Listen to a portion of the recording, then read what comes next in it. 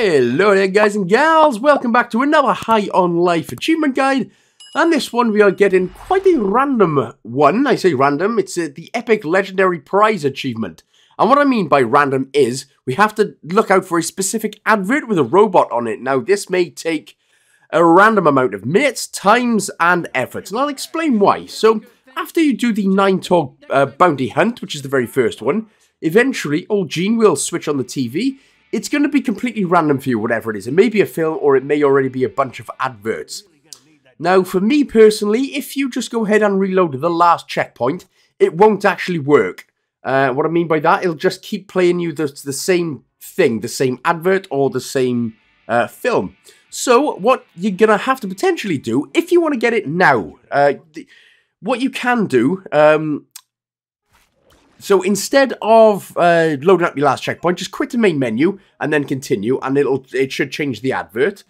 Now, just bear in mind that you may see the same adverts three, four, even five times. So literally, you're gonna have to keep on going. It took me about 15 minutes before the robot appeared. So you can either do it this way, if you're impatient and you want to get the achievement out of the way now, just keep uh, quitting out the main menu and continuing the game. Or if you want to wait till later, you can set the portal to Unknown Sector, Human Haven, and then you can just simply walk in and out until we see the robot commercial. The warp there and back is literally about a second or two, and the advert slash commercial changes every time.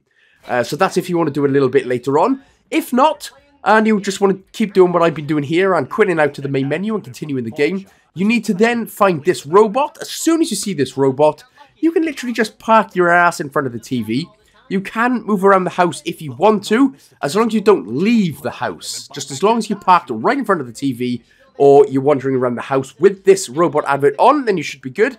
What's going to happen then, it's he's going to literally count down, but it is going to take around 8 or 9 minutes, so you might as well just go and dump it, or, you know, go and grab yourself a cheeky cup of tea or something.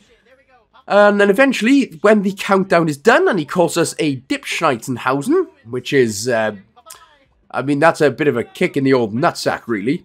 And the next advert appears, the achievement should unlock, and that is done. So again, there are two ways that you can do it, but um, either way, it's going to be random. It'll take some time, but that is how you get that one. So thanks so much for watching, guys and gals. See you in the next one. Big love.